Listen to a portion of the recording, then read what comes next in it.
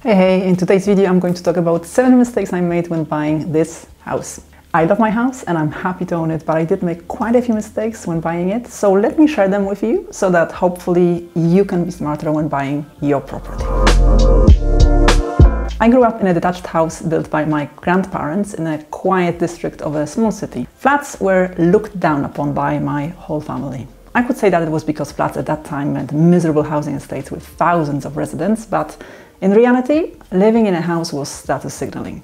Nobody even considered the benefits of an alternative. My first property in London was a flat, one that today would easily make it onto the Never Too Small YouTube channel. It measured slightly over 30 square meters and taught me that I'm not a tiny house person. When buying this house, my ex-partner, who came from a complete different background, having grown up in a council flat in a slightly bigger city next to mine, was desperate to have a garden. And so when the search began and suddenly a house, yes, with a garden, in our price range appeared on the market, we were keen to buy it.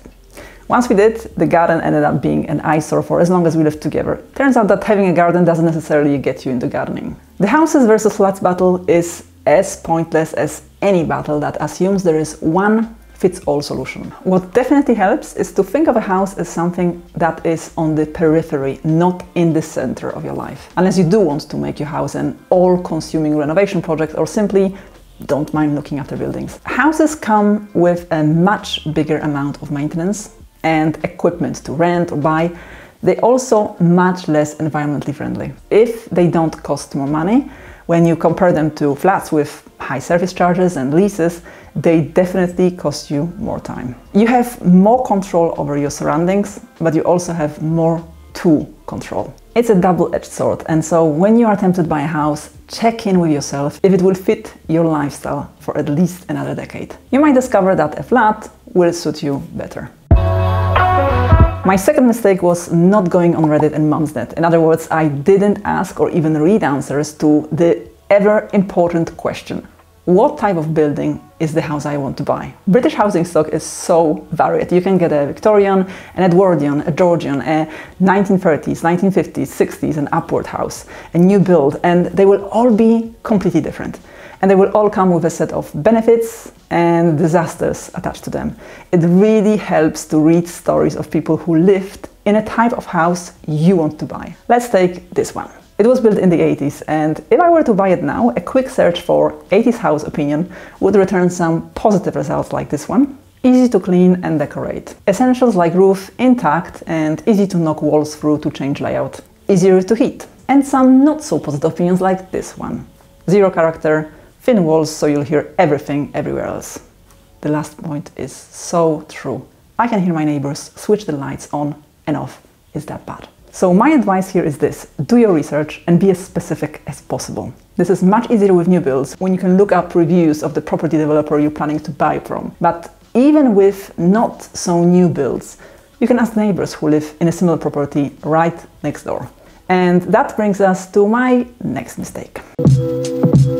It took seven months to complete the purchase of this house, and I viewed it once on a sunny summer afternoon. Do you know anything that doesn't feel great on a sunny July afternoon?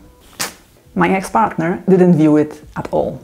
Honestly, this deserves a minute of silence. Viewing a house for what?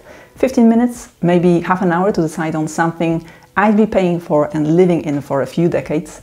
I spent more time contemplating and testing that sofa and it cost less than one month's mortgage. For comparison, a house is a mortgage times 300 months. So what would I do now? I'd arrange another viewing. If you say that the price is right and the market is insane and that will only slow you down or guarantee you won't get the property, then I say a property not worth living in is not a good purchase. Do the bare minimum. Visit the street at different times of the day. That quiet cul-de-sac your house is located on could become a real nightmare given the right conditions. You want to know that sooner than later. Another mistake I made when buying this house was not understanding how property boundaries and party walls work. And that is a big one. At one point, we were considering an extension with my then partner, and we hired a surveyor, a structure engineer, an architect, and guess what? Nobody had enough sense to check what boundaries this house had. Only years later, when I was repairing my garden wall, did I discover that actually my deeds and my plans were different to the ones with the land registry. You need to know your property boundaries to know which walls or fences you're responsible for, for the maintenance, for the repair, for everything like that. And also to know your limitations, especially when you'd like to extend your house or place a garden house near a boundary. Because in most cases, you will need your neighbor's permission, and speaking from experience, that can be expensive and very frustrating. Your best bet is to download title deeds from the land registry, if you're in the UK, of course. It will cost you less than a meal out, and it will be money well spent. They will show you correct boundaries, unaffected by years of resales and redrawings. And if you have walls, where exactly these walls sit, along or bang in the middle of a boundary. Actually, there's this great booklet called the Party Wall Act booklet, and it will help you to understand how party and boundary walls actually work. It can save you many, many headaches and banknotes down the line. The next mistake I made is connected to the previous one. My garden wall repair was a very costly business. I suspected it wouldn't be as cheap as the lender predicted and lowered their house estimate by but I didn't get a quote to check it myself. A single quote, not even multiple ones, would be enough to challenge the bank's estimate and negotiate the house price down. And I didn't do that. So learn from my mistake and if you spot a major repair, get a quote to see how much it will cost you to fix it. Don't rely on banks or even surveyors. My hairdresser was telling me the other day how her surveyor failed to notice the house she was buying had a subsidence issue. A decade later, she's stuck with insurers, investigations, and lopsided property she can't sell.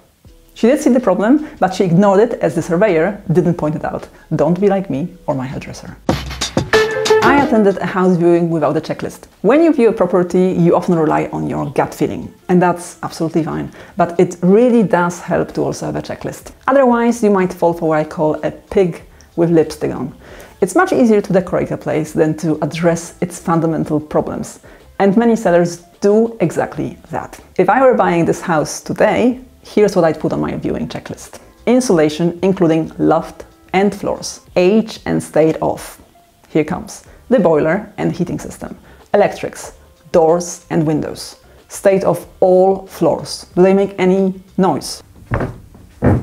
Water pressure in all taps, state of the staircase, extension potential for side, rear and loft, and finally access to the garden. I mean, all houses have renovation needs, but knowing what you're getting yourself into will prepare you for addressing those needs. Basically, it would help you plan for your renovation expenses or help you work out which property you actually cannot afford. Make a checklist for your viewing. I'm definitely making one for my next house search.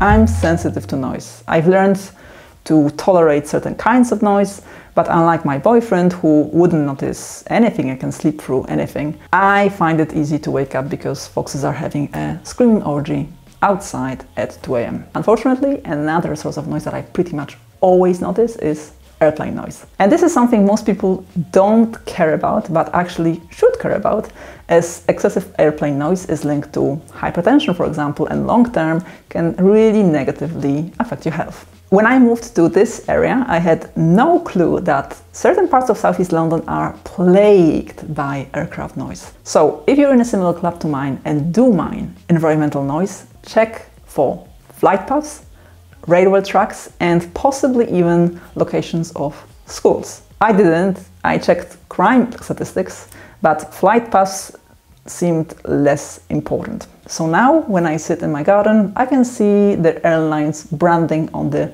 planes flying right above my head, all while wearing my beloved noise cancelling headphones, of course. And that's it, guys. If you're about to buy a house or a flat, keep this video in mind. And if you know somebody else who's buying a property, please share this video with them. It's so easy to miss these things. Let them learn from my mistakes. I mentioned my garden wall quite a lot in this video. If you want to know the full story behind it, here's a video that you will enjoy. Thanks for watching.